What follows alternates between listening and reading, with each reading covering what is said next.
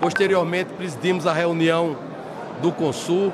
Assumi o ministério há pouco mais de cinco meses, numa situação sanitária extremamente difícil, provocada pela pandemia da Covid-19 e com o apoio de todos os ministros, com as orientações do presidente da República, hoje empreendemos uma das campanhas de vacinação contra a Covid mais bem sucedida do mundo, a queda do número de casos, menor pressão sobre os nossos hospitais, queda do número de óbitos e vamos vencer a pandemia. Eu não sei a quem interessa essa indústria de boatos, de fake news, somente para desestabilizar, desestabilizar não, para tentar desestabilizar o governo, inventando divisões do Ministério da Saúde.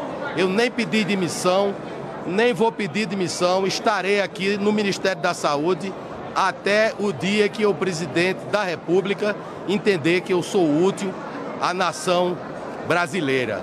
Brasil acima de tudo e Deus acima de todos. Eu já falei diversas vezes, concordo integralmente com a fala do presidente da República. São passaportes inúteis, até porque a população brasileira acima de 18 anos vai estar vacinada com a primeira dose agora em setembro e com a segunda dose no final de outubro.